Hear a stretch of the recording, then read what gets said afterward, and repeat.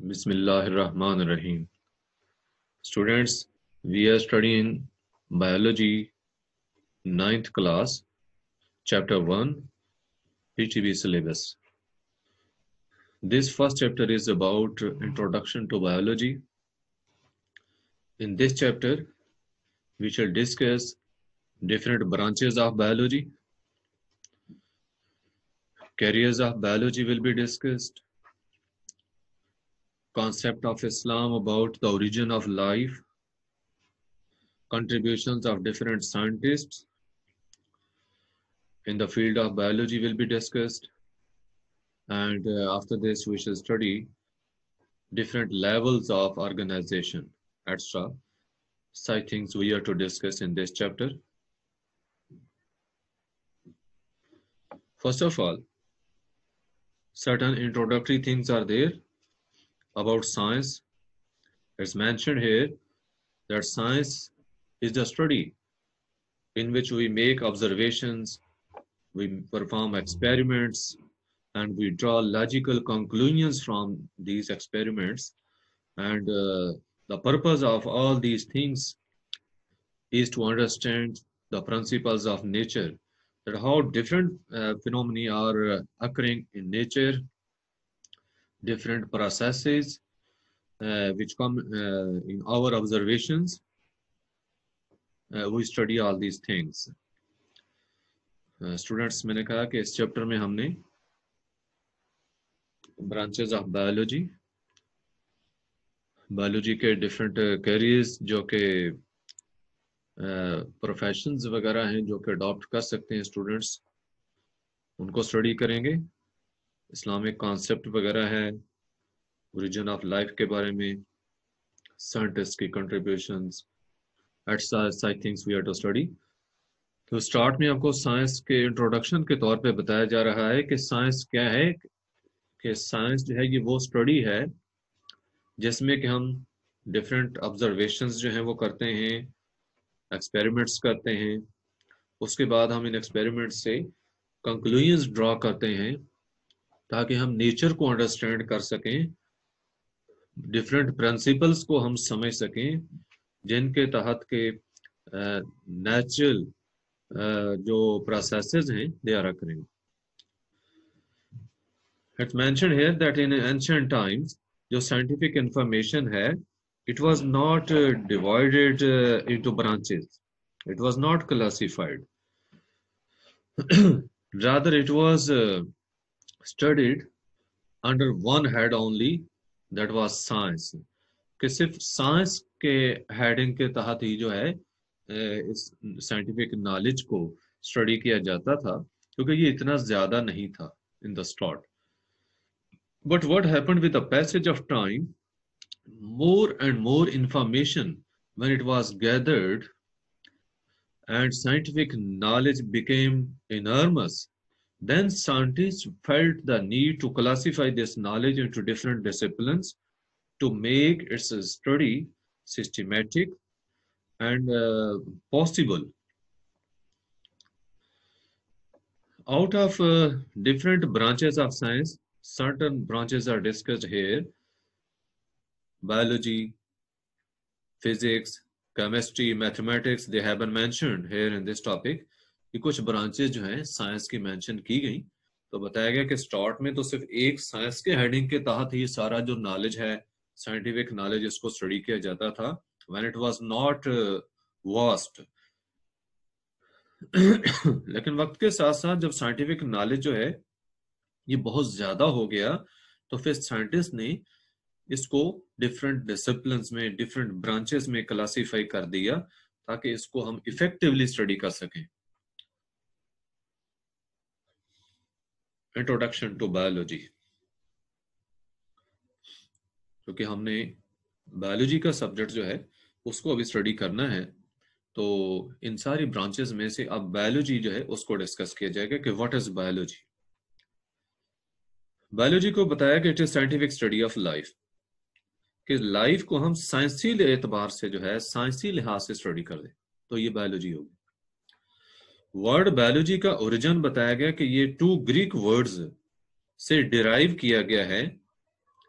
वो दो वर्ड्स कौन से हैं? Bios and logos bios and logos these are two Greek words from which this word biology has been derived ये दो जो अल्फाज हैं बायोस और लोगस ये ग्रीक लैंग्वेज के वर्ड्स हैं और इनसे बायोलॉजी का जो वर्ड है वो डिराइव किया गया है।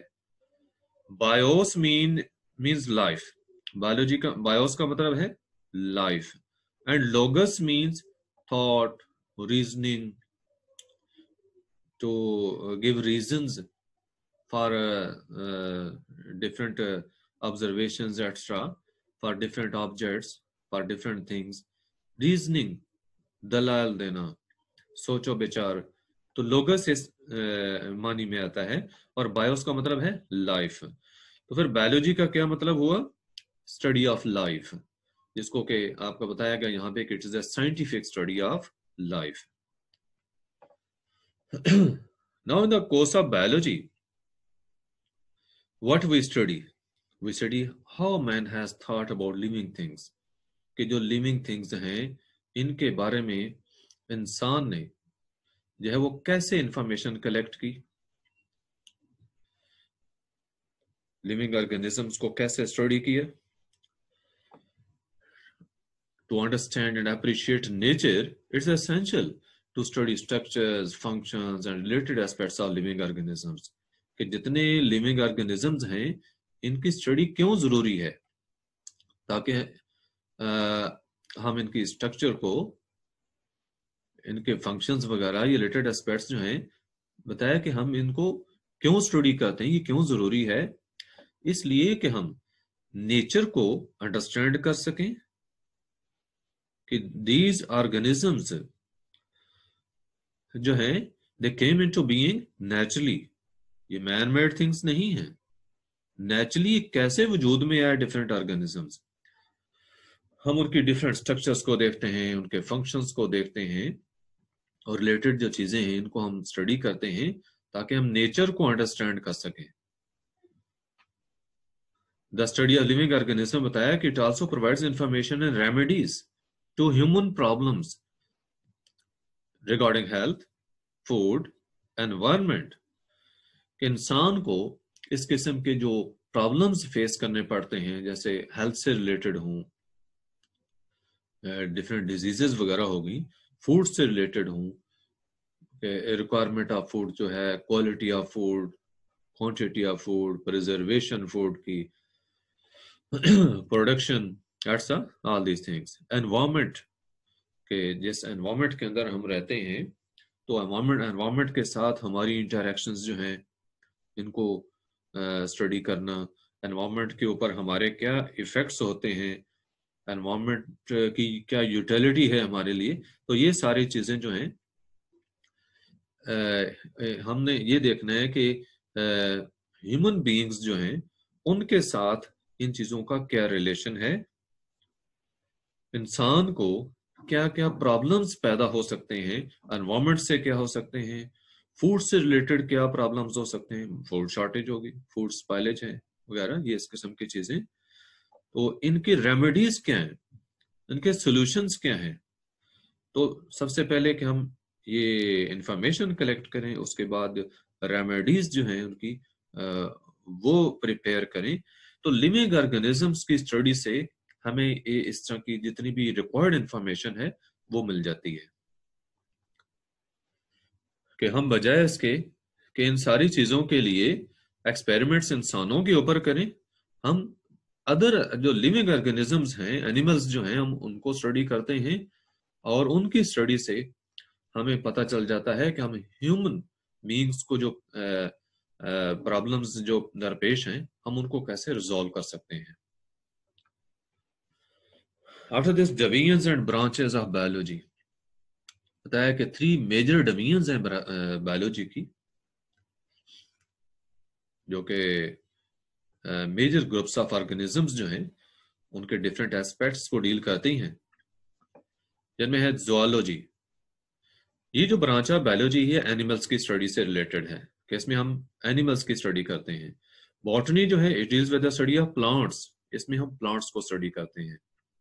माइक्रोबायोलॉजी जो है, इसमें हम माइक्रो ऑर्गेनिजम्स को स्टडी करते हैं। Micro organisms mean those organisms which we can't see with naked eyes which can't be seen with the help of without the help of microscope ठीक है, जो माइक्रोस्कोप के बगैर नज़र नहीं आते बैक्टीरिया वगैरह हैं तो इनकी स्टडी माइक्रोबायोलॉजी में आती है।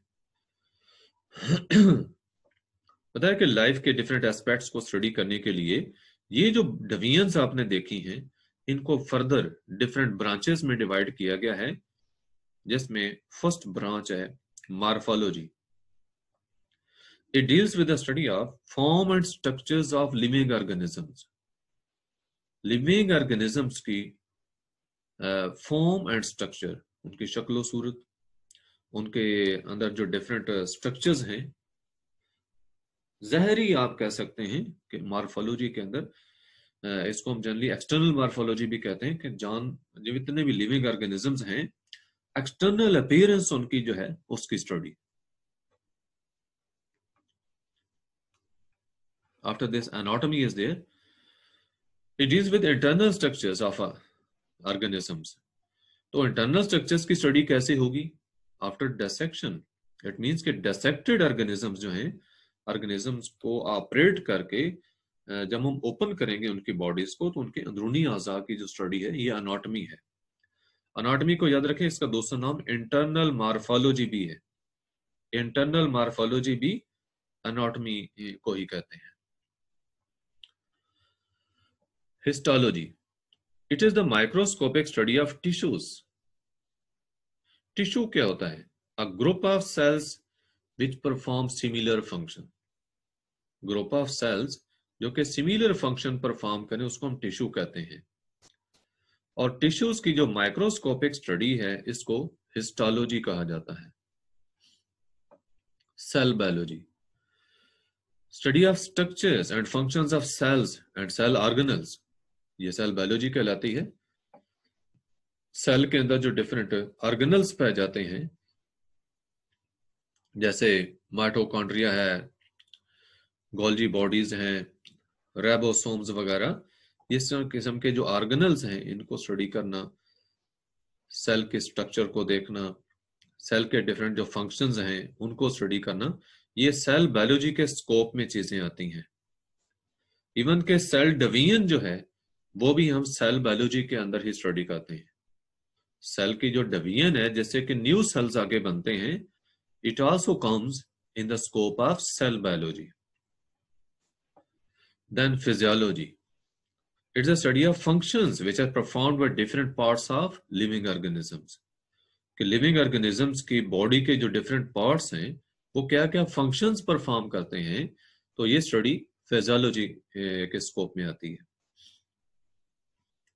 genetics it's is the study of genes and the role of genes in inheritance inheritance कहते हैं ट्रांसमिशन ऑफ़ करेक्टर्स को from one generation to the other के खसूसियात का एक नस्ल से दूसरी नस्ल में ट्रांसफ़र होना। जैसे वालदेन की खसूसियात औलाद में ट्रांसफ़र होती हैं तो ये चीज़ इनहेरिटेंस कहलाती है। अब जीन्स क्या है? जीन्स सेगमेंट्स ऑफ़ डीएनए होते हैं और डीएनए जो है अलॉन्ग विद प्रोटीन्स ये क्रोमोसोम्स बनाते हैं। और क्रोमोसोम्स न्यूक्लियस के अंदर होते हैं, जो हर स्पीशी की मखसूस तादाद होती है क्रोमोसोम्स की। ये न्यूक्लियस में पाए जाते हैं और न्यूक्लियस जो है, ये हर बॉडी सेल में पाया जाता है। तो बताया कि हम जीन्स की स्टडी करते हैं। और जीन्स का रोल स्टडी करते हैं इनहेरिटेंस में क्या है? तो याद रखें कि किसी भी ऑर्गन की डेवलपमेंट की जितनी भी इंफॉर्मेशन होती है, वो सारी इन्हीं जीन्स के अंदर होती है। तो तभी जो पेरेंट्स की करेक्टरिस्टिक्स हैं, वो ऑफ़ स्प्रिंग में आगे औलाद में ट्रांसफ़र होती हैं, क्योंकि जीन्स ट्रांसफ़र होते हैं। वालदेन से औलाद में जीन्स जो है, ये ट्रांसफ़र होते हैं, इसलिए करेक्टरिस्टिक्स जो है पेरेंट्स के साथ मिलती जुलती होती हैं आगे औलाद की। Embryology it's a study of development of an embryo to new individual embryo की इंडिविजुअल में जो डेवलपमेंट है। अब एम्ब्रियो क्या है? जैसे इधर सेल बायोलॉजी में आपने सेल की स्टडी देखी है। During sexual reproduction male and female gametes जो है वो आपस में मिलकर जाइगोट बनाते हैं। अब वो जो मेल एंड फीमेल गैमेट्स हैं, मेल गैमेट्स को सुपम्स कहते हैं, फीमेल गैमेट्स को एग्स कहते हैं तो वो सेल्स हैं। ठीक है, वो सेल्स हैं, उनकी स्टडी सेल बायोलॉजी के अंदर आएगी। लेकिन जब वो आपस में मिलकर सो दोनों सेल्स जो हैं, आपस में मिलकर जब जाइगोट बनाते हैं, इन स्पर्म और एग के मिलने से जब जाइगोट बनता है जाइगोट में फर्दर डिवीज़न से एम्ब्रियो बनता है। एम्ब्रियो के अंदर डेवलपमेंट जब आती है तो इंडिविजुअल बनता है। ये सारी चीज़ें जो है हम एम्ब्रियोलॉजी में स्टडी करते हैं। यानी फर्टिलाइज्ड एग या जाइगोट से लेकर आगे इंडिविजुअल बनने तक ये जितने स्टेजेस हैं डेवलपमेंट के, ये सारे हम एम्ब्रियोलॉजी के साथ स्टडी करते हैं। Next is taxonomy it's the study of naming and classification of organisms into groups and subgroups. We identify organisms which are similar to each other and we place them into different groups and subgroups. It is called taxonomy. कि हम organisms को identify करें जो आपस में मिलते जुलते organisms हैं उनको हम छोटे बड़े बड़े ग्रोहों में जो रखते हैं तो ये इस तरह की डिवीज़न करने का जो इल्म है ये स्टडी है ये टेक्सानोमी कहलाती है it is a study of fossils अब fossils क्या हैं are the remains of uh, extinct organisms extinct organisms means those organisms which were found on earth years back years ago कि कई साल पहले के ऑर्गेनिज्म जो कि ज़मीन पर पाए जाते थे उनके कुछ जो रिमेन्स हमें मिलते हैं, उनको फॉसिल्स कहा जाता है। और ये फॉसिल्स की स्टडी पेलेंटोलॉजी है। अब देखिए ये फॉसिल्स जो हैं, ये एनिमल्स के भी हो सकते हैं और प्लांट्स के भी हो सकते हैं।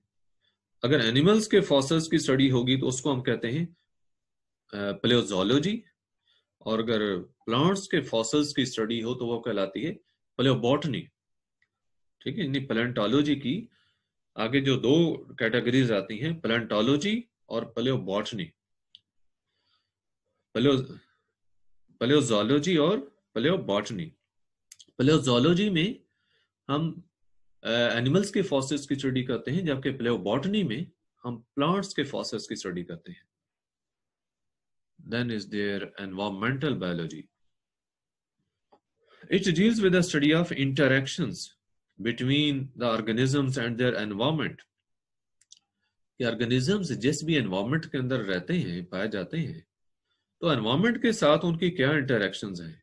इवन के ऑर्गेनिजम्स की जो म्यूचुअल इंटरेक्शंस हैं, वो भी हम इसी ब्रांच ऑफ़ स्टडी में ही स्टडी करते हैं ब्रांच ऑफ़ बायोलॉजी में। कि ऑर्गेनिजम्स का आपस में क्या जो है वो इंटरेक्शंस होती हैं या एनवायरमेंट के साथ क्या है, ये सारी चीज़ें एनवायरमेंटल बायोलॉजी में आती हैं।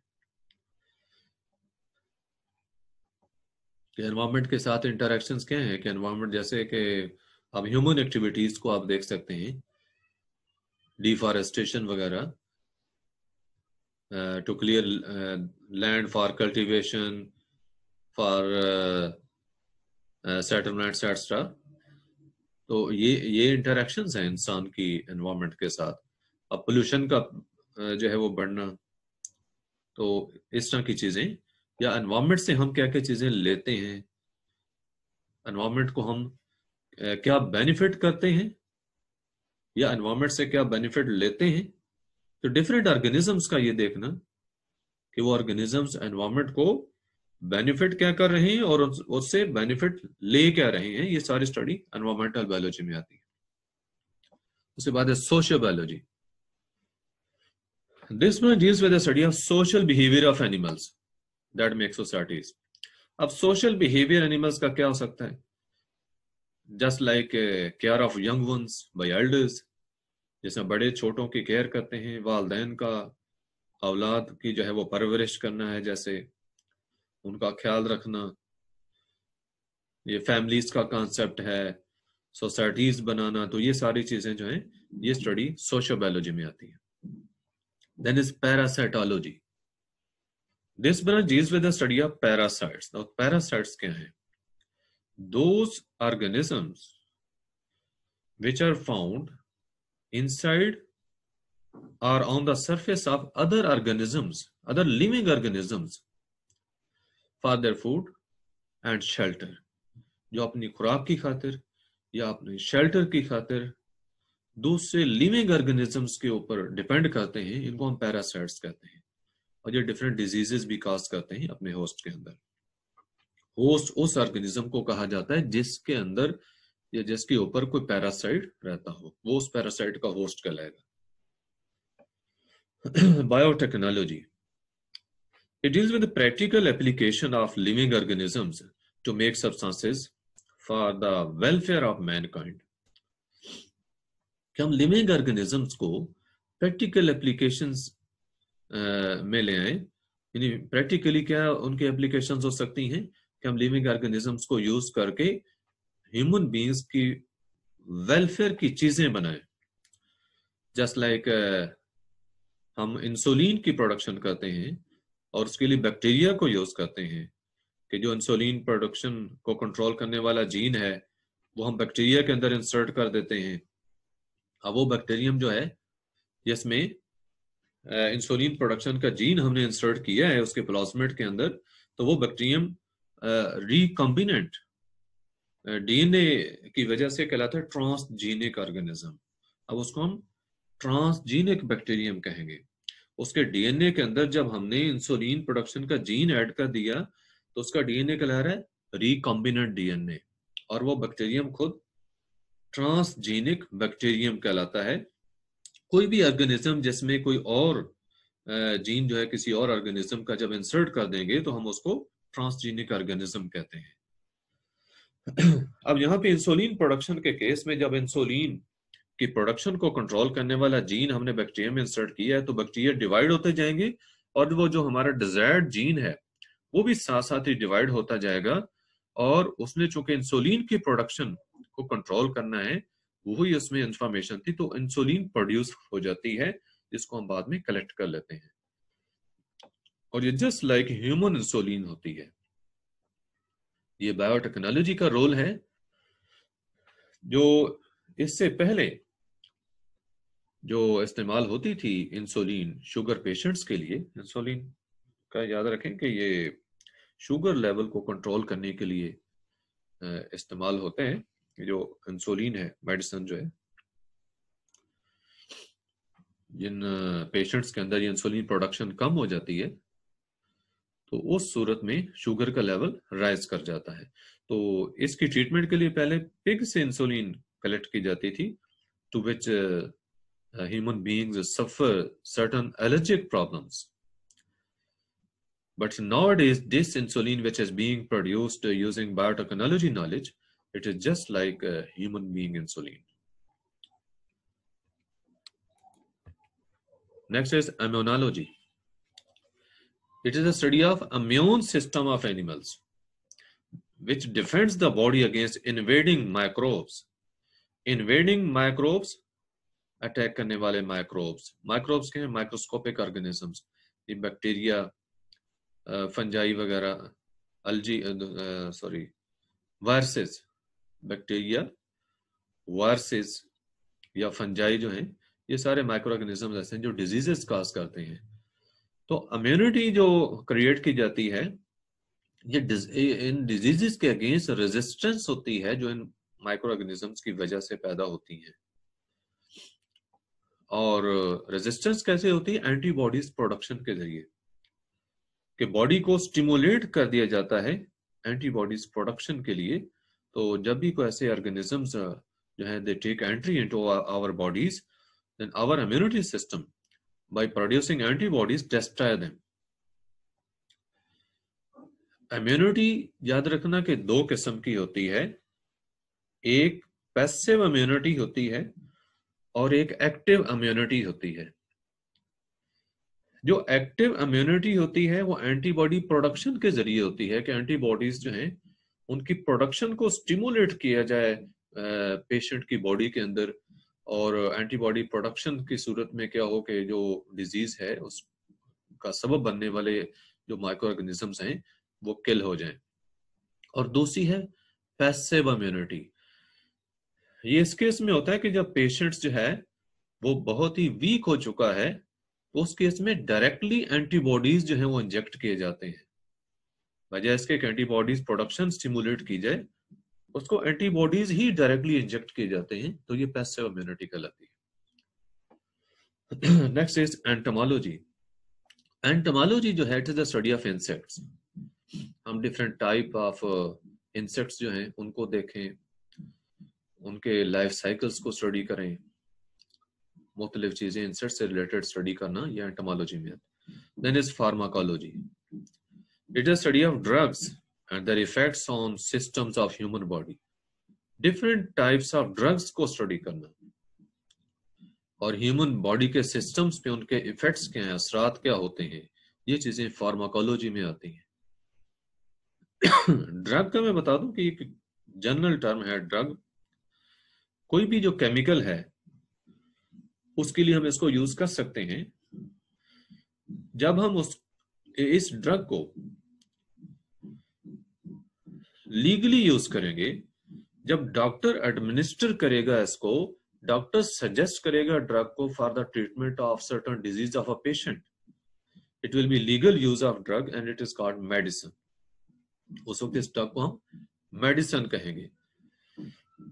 और यही ड्रग जब इलीगली यूज़ की जाएगी फॉर नॉन मेडिसिनल पर्पजेस जब यूज़ की जाएगी तो हम उसको नार्कोटिक्स कहते हैं।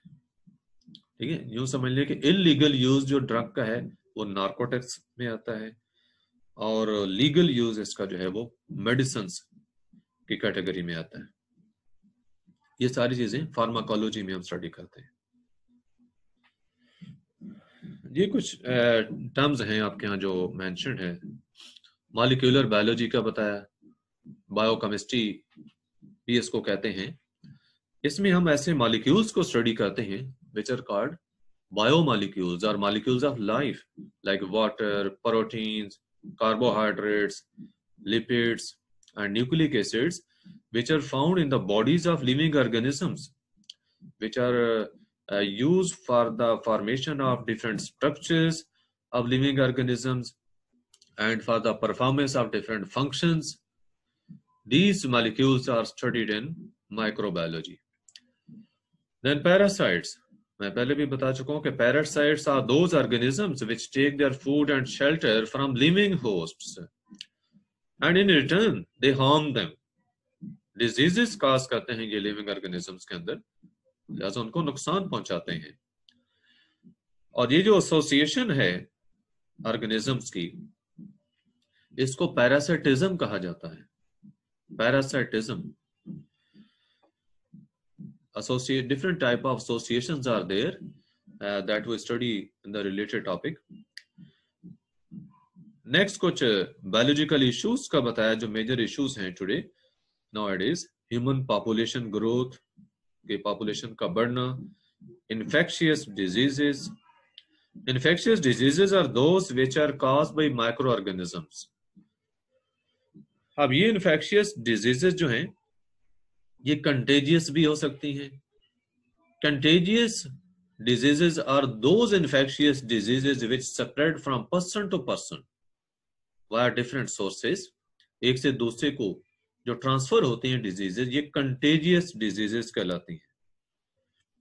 फिर कुछ कंटेजियस डिजीजेज आगे ऐसी हो, भी होती हैं जो एपिडेमिक कहलाती हैं। एपिडेमिक उस कंटेजियस डिज़ीज़ को कहा जाता है जो किसी एरिया में रैपिडली जो है वो स्प्रेड हो जाती है।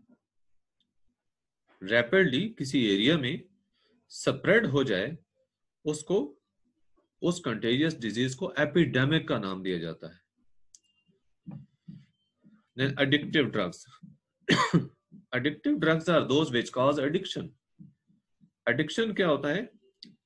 एक मेडिसिन को जब यूज़ किया तो फिर उस की डिमांड का पैदा हो जाना बॉडी के अंदर, उसकी आदत पड़ जाना यूज़ करने की, ये एडिक्शन होती है। एंड पोल्यूशन पोल्यूशन क्या है? Contamination of anything with undesirable substances so that it becomes unfit for human use it is called pollution now pollution may be air pollution it may be water pollution it may be soil pollution तो ये बताया कि इस किस्म के कुछ problems हैं which human beings are facing nowadays and these are being considered biological issues as in biology research is are being made to find causes and remedies to all these problems. After this, it has been asked to identify and evaluate the impact of scientific ideas and advancements in technology on society. कि scientific ideas और advancements जो हैं technology के अंदर, इसके society के ऊपर क्या असरात हैं? तो देखें, ये जितनी चीज़ें हमने कुछ डिस्कस की हैं पहले, जो बायोटेक्नोलॉजी की स्टडी के ज़रिए ही पॉसिबल हुई हैं तो they are benefiting human beings society के लिए वो बेनिफिशियल हैं। जैसा मैंने ये इंसुलिन वगैरह की प्रोडक्शन की बात की, इस तरह डिफरेंट टाइप्स ऑफ़ वैक्सीन जो हैं, वो बनाई जा रही हैं बायोटेक्नोलॉजी के नॉलेज से which are benefiting human beings after this is relationship of biology to other sciences. जो बायोलॉजी है, इसका दूसरी साइंसेस के साथ कुछ इंटरडिसिप्लिनरी थिंग्स हैं ब्रांचेस की इन इसके रिलेशनशिप्स अदर ब्रांचेस के साथ जो है, उनको हम स्टडी करेंगे। बताया कि inter relationship among different branches of science जो है it can not be denied हम इसे इनकार नहीं कर सकते। हम ये नहीं कर सकते कि ये चीज़ तो बायोलॉजी में स्टडी होती है, इसका फिजिक्स के साथ कोई तलक नहीं है या केमिस्ट्री के साथ कोई तलक नहीं, ऐसे नहीं है।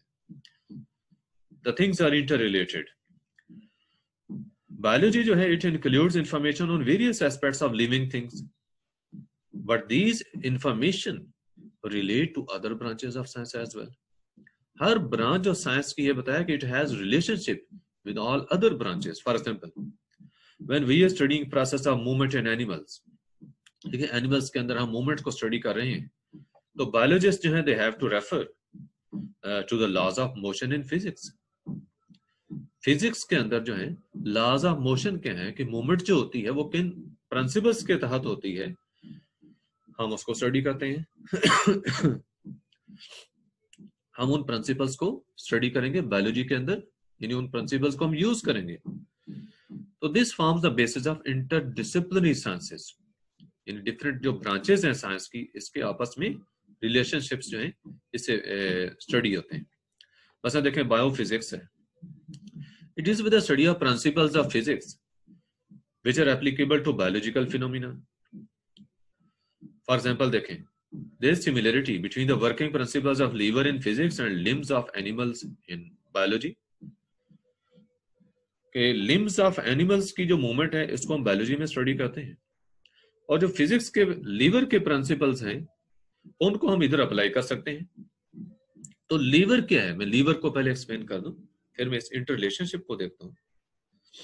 लीवर स्टूडेंट्स याद रखें कि एक लॉन्ग बार को कहते हैं। बार जो है लॉन्ग बार, लंबी एक सलाह that can move around a point ठीक है, एक लॉन्ग बार जो कि किसी पॉइंट के अराउंड मूव कर सके, उसको लीवर कहते हैं। और वो जिस पॉइंट के अराउंड मूव करता है, उसको फुल करम कहते हैं। ये मैं आपको डायग्राम से एक्सप्लेन कर देता हूँ। ये देखें, ये लीवर है। ये जो लॉन्ग बार आप देख रहे हैं, ये वाली, ये लीवर है। और ये पॉइंट है, या ऑब्जेक्ट कोई भी जिसके अराउंड ये लीवर मूव कर सकता है, इसको फुलकर्म कहते हैं।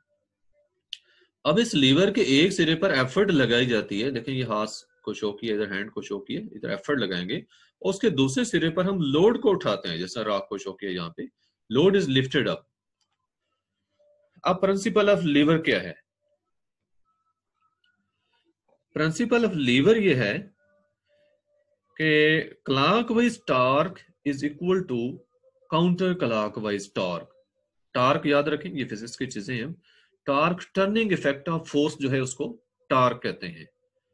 किसी भी फोर्स का, किसी ऑब्जेक्ट को जो टर्न करना है, घुमाना है, इसको टार्क कहते हैं। और क्लॉकवाइज टार्क क्या होता है? क्लॉक के हैंडल्स जिस डायरेक्शन में मूव करते हैं, अगर उस डायरेक्शन में हम रोटेट करें किसी ऑब्जेक्ट को तो ये क्लॉक वाइज टार्क कहलाता है। और अगर उसके उल्ट रोटेशन हो तो उसको काउंटर क्लाक वाइज टार्क कहा जाता है। अब यहाँ पे देखें ये एफर्ट जो है, इस बार को जब लीवर को जब नीचे पुश करती है तो इसकी मूवमेंट कैसे है सोलक्रम के अराउंड? Clockwise. जबकि लोड लीवर के दूसरे सिरे को नीचे पुश कर रहा है तो यह है काउंटर क्लॉक वाइज टॉर्क। तो प्रिंसिपल ऑफ़ लीवर जो है उसमें हम ये देखते हैं कि जो क्लाक वाइज टार्क है इन केस ऑफ़ इक्विलिब्रियम ये भी याद रखें। इक्विलिब्रियम के इक्विलिब्रियम कौन सा होता है? जिसमें ना लीवर जो है, वो एफर्ट की साइड से नीचे ऊपर जाए, ना लोड की तरफ़ से ऊपर नीचे हो तो इसको कहते हैं कंडीशन ऑफ़ इक्विलिब्रियम तो principle of lever is there that at equilibrium clockwise torque is equal to counter clockwise torque अब यूटिलिटी इसकी क्या है? देखें, टार्क चाहे क्लॉकवाइज है, चाहे काउंटर क्लॉकवाइज है, ये इक्वल किसके होता है? Product of effort and effort arm ये एफर्ट ये क्लॉकवाइज टार्क आएगा। A product of load and load arm जो है, ये हाँ हमारा जो है काउंटर क्लॉकवाइज टार्क है। लोड आर्म याद रखें कि ये लोड जिस पॉइंट पे एक्ट कर रहा है, उससे लेकर फुलक्रम तक का डिस्टेंस ये लोड आर्म कहलाता है। और फुलक्रम से लेकर एफर्ट तक का जो ये डिस्टेंस है, ये एफर्ट आर्म होता है। अब देखें जब हमें पता है कि एफर्ट आर्म और एफर्ट का प्रोडक्ट जो है, वो क्लाकवाइज टार्ग है तो हम ऐसे करें कि इस एफर्ट आर्म को बढ़ा देते हैं और लोड आर्म को हम छोटा कर देते हैं। तो इसका फ़ायदा ये होगा कि थोड़ी एफर्ट के साथ हम ज़्यादा लोड उठा सकेंगे। ठीक है? ये यूटिलिटी हुई इसकी। अच्छा मैंने जस्ट लीवर को थोड़ा सा एक्सप्लेन करना था कि क्या अब लीवर को हम यहाँ पे यूज़ क्या करते हैं? देखें, जो लिम्स की मूवमेंट है, इसमें फ्लेक्शन और और एक्सटेंशन जो है एल्बो जॉइंट पे मैं उसको एक्सप्लेन करता हूँ। एल्बो जॉइंट पे जो एक्सटेंशन एक्सटेंशन का मतलब है हाथ को सीधा करना। मतलब हाथ आपने बाजू बंद किया हुआ है, उसको खोलना, सीधा करना, जो ये एक्सटेंशन कहलाता है।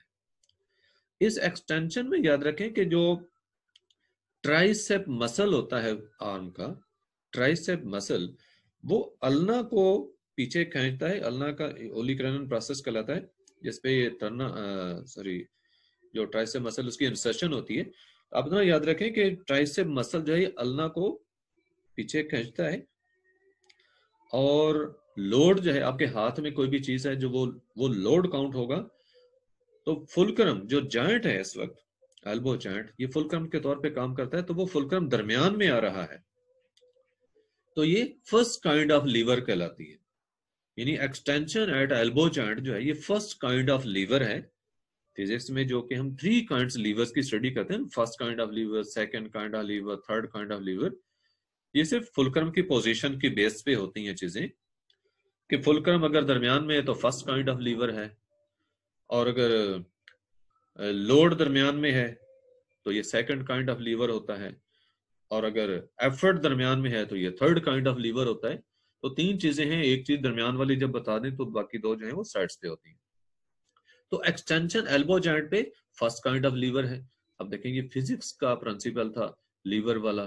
तो उसको हमने अप्लाई किया एल्बो जॉइंट के ऊपर आर्म की एक्सटेंशन में। अब फ्लेक्शन को हम देखते हैं कि फ्लेक्शन कैसे होती है। इसमें जो हमारा बाइसेप मसल होता है, ये रेडियस के ऊपर फोर्स लगाता है। रेडी, रेडियस जो ये बोन होती है इसमें, बाजू में तो उस बोन को ऊपर खींचता है।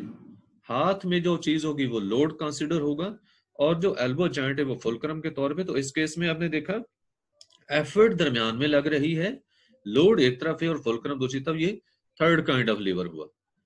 तो जो फ्लेक्शन एट एल्बो जॉइंट है, यानी बाजू का बंद करना, ये थर्ड काइंड ऑफ़ लीवर है, जबकि बाजू का जो खोलना है एक्सटेंशन जो है, ये फ़र्स्ट काइंड ऑफ़ लीवर है। तो देखें लीवर के प्रिंसिपल हम यूज़ कर रहे हैं बायोलॉजी के अंदर।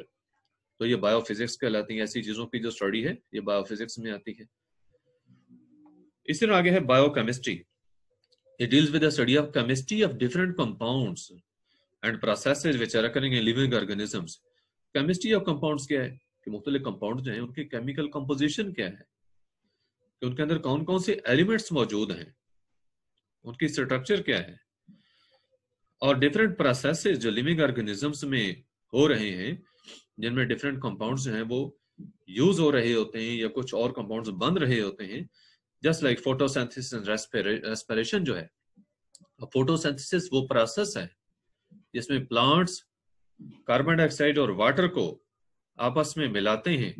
In the presence of sunlight that is absorb by chlorophyll is present in chloroplast of uh, green parts of plants तो जो ग्लूकोज का बनना है आगे रिज़ल्ट के तौर पर और ऑक्सीजन बनती है ये प्रोसेस फोटोसिंथेसिस है।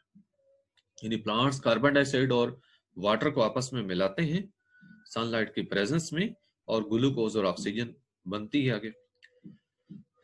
तो देखें वाटर केमिकल है कार्बन डाइऑक्साइड केमिकल कंपाउंड है ग्लूकोज बन रहा है, वो केमिकल है ऑक्सीजन इट्स केमिकल एलिमेंट है। तो ये चीज़ें बायोकेमिस्ट्री में हम स्टडी कर रहे हैं। इसी तरह रेस्पिरेशन ये फोटोसिंथेसिस के उल्ट होता है। इसमें फ़ूड सब्सटेंसेस जो है, उनकी ब्रेक डाउन होती है और एनर्जी प्रोड्यूस होती है, साथ कार्बन डाइऑक्साइड प्रोड्यूस होती है वाटर प्रोड्यूस होता है। तो ये सारे केमिकल रिएक्शंस जो हैं इनको स्टडी करते हैं, जो लिविंग ऑर्गेनिजम्स में हो रहे हैं तो these are studied in biochemistry next is biomathematics और biometry It deals with the study of biological processes using mathematical techniques and tools. हम, जैसा मैंने पहले फिजिक्स के प्रिंसिपल्स का रूल्स का इस्तेमाल बताया बायोलॉजी के अंदर। तो मैथमेटिकल टेक्निक्स को हम भी, हम यूज़ करते हैं।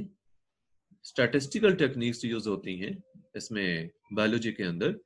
For example if we are to analyze the data that we have gathered after experimental work, then biologists have to apply mathematics rules ठीक है मैथमेटिकल रूल्स जो हैं स्टैटिस्टिकल रूल्स जो हैं, ये अप्लाई करने होते हैं जब हम डाटा को को एनालाइज करना चाहते हैं।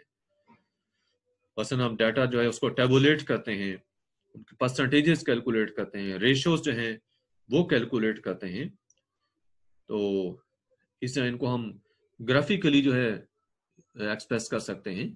तो ये सारी चीज़ें जो हम कर रहे हैं, इसमें हम मैथ के और स्टैट के जो रूल्स होते हैं, उनको यूज़ कर रहे होते हैं। It comes in the study of bio mathematics and biometry जो है, इसके स्कोप में आती हैं ये चीज़ें। Then there is biogeography biogeography में हम occurrence distribution of different species of living organisms जो है वो देखते हैं different geographical region of the world कि दुनिया के मुख्तलिफ़ खितों में कौन कौन से ऑर्गेनिजम्स जो हैं वो पाए जाते हैं स्पीशीज का यहाँ पे मेंशन के स्पीशीज याद रखें कि group of similar organisms which can interbreed freely with one another and produce fertile offsprings. They are called species. Species में दो कंडीशंस का बताया गया। पहली क्या है कि which can interbreed with one another freely और सिर्फ़ एक कंडीशन से स्पेशी एक्सपेंड नहीं होगी, साथ दूसरी कंडीशन बतानी होगी। And produce fertile offsprings कि उनसे जो आगे बच्चे पैदा हों, वो अपनी नस्ल आगे बढ़ाने की सलाहियत रखते हैं। उससे हम स्पेशीज कहेंगे। इसकी मैं एग्जांपल देता हूँ कि आप डोंकी और मेयर को लें। या हार्स और एसिस जो है इसको लें तो इनकी आपस में जो है वो ब्रीडिंग हो जाती है। ठीक है? इनकी इंटरब्रीडिंग हो जाती है। इनकी इंटर ब्रीडिंग के रिज़ल्ट में आगे म्यूल प्रोड्यूस होता है। खचर जैसे कहते हैं। म्यूल प्रोड्यूस होगा। लेकिन म्यूल जो है, वो फर्टाइल नहीं होता, वो स्टीराइल होता है। मींस के म्यूल आगे नस्ल बढ़ा नहीं सकता अपनी इसलिए स्पीशीज को डिफाइन किया group of similar organisms which can interbreed freely with one another and produce fertile offsprings तो हम इन स्पीशीज की डिस्ट्रीब्यूशन और इनकी अक्रेंस के ये कहाँ कहाँ पाए जाते हैं और कैसे डिस्ट्रीब्यूटेड है किसी एरिया में, कैसे वहाँ पे रहते हैं हैबिटेट्स वगैरह इनके जो हैं, वो किस किस्म के हैं which are well suited for them even के ये इसमें हम पर्टिकुलर जोग्राफिकल रीजन जो हैं, उनकी करेक्टरिस्टिक्स को भी स्टडी करते हैं